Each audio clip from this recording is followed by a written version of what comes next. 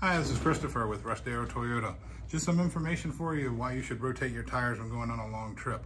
Basically, every 5,000 miles, you should rotate your tires to keep them wearing evenly and also to prolong the life of those tires. Now, when you're going on a long trip, you always want your best up front. So if they're the best are up front with your most treads, you want to leave them there. But if not, definitely rotate and put those miles to have those wear evenly and of course prolong the life of the tire. Also, by doing that, you would have them wearing evenly. You would replace them four at a time, just as uh, we have a deal at the buy three, get one free tire special that's all year long. That way, if you don't rotate your tires, then you're only gonna have to replace two at a time because the rear aren't wearing as quick as the fronts are, which you wouldn't be able to take advantage of that deal. I'm Christopher, and thank you for calling Russ Darrow Toyota.